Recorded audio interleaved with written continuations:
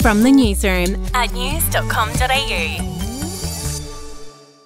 We'll start with politics, and the Australian public certainly seems to be impressed with Anthony Albanese and his Labor government. A new poll shows that Labor has a primary vote of 42% compared to the coalition on 33%. Mr. Albanese is also way ahead in the preferred PM category. He leads Peter Dutton 55% to 17%. Moving on now, a 40 year old man has been jailed for bashing the block star Shaynna Blaze. The man attacked the TV personality from behind in 2020, punching her in the back of the head. He was found guilty of unlawful assault in April, but immediately appealed.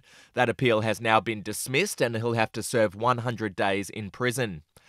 Overseas now and in the US, Anthony Fauci, the top infectious disease expert who became the face of America's fight against COVID, has announced that he's stepping down.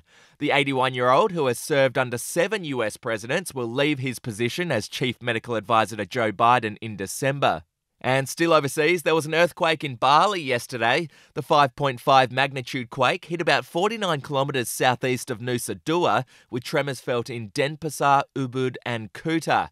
Here's what one Aussie tourist told Channel 7. We were in our room on the third floor, and then we felt a shaking, and we both kind of looked at me and my husband looked at each other and went, what is that? Is that an earthquake? And we kind of kind of fogged it off. And then the second was so much stronger. we went, we need to get out of here. So we kind of jumped up, kind of ran outside. To royal news now, Prince William and Kate Middleton's three kids have been enrolled in a fancy new school. George, Charlotte, and Louis will start going to Lambrook School, which costs $12,000 per student per term. The school, which has mandatory Saturday morning lessons, has its own bee farm and a nine hole golf course. And finally, in music news, New Zealand born singer Margaret Urlich has died at the age of 57 after a two year battle with cancer. Urlich found fame in Australia for singing The Horses with Daryl Braithwaite, but chose not to appear in the music video.